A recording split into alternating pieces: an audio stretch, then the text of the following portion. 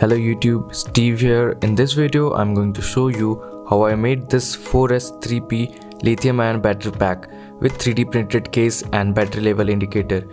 For this project, I have used 12 pieces of LG B4 18650 2600 mAh each, a 4S BMS with balance charging, some 18650 battery holder, a 4S lithium battery indicator, a mountable XT60, a Kapton tape, a nickel plated strip tape, a push switch, some silicone wire, and for case I have designed a 3D printed case. I will leave all the part list with purchasing link included with 3D printing file and circuit diagram in the description below you can check that out. Before we start, a quick shout out to a sponsor of today's video. JLC PCB are the world largest PCB manufacturer. They offer 2 layer, 4 layer, 6 layer and SMT stencil. JLC PCB has updated their website. Now JLC PCB has widely cut up to 30% on 1 to 6 layer PCB and up to 20% on stencil and up to 10% on shipping. Upload your Gerber file today and get your first 10 PCB just for $2. I have made few PCBs using JLC PCB service and you can see the PCB quality. It's just mind blowing. Welcome back to the project. I've used my battery charger to charge all the 12 batteries to 4.2 volts. If you want to know how I built this charger, I will leave a link to that video in the description below you can check it out. Make sure your all the batteries voltage are close to each other.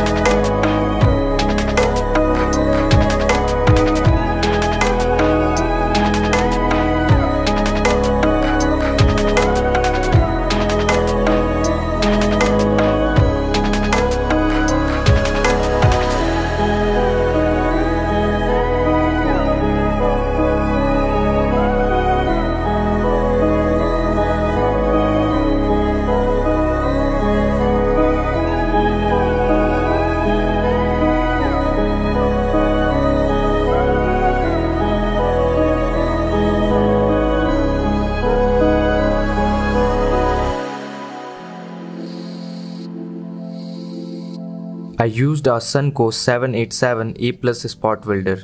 You can also use your soldering iron for this job, but it can damage your batteries.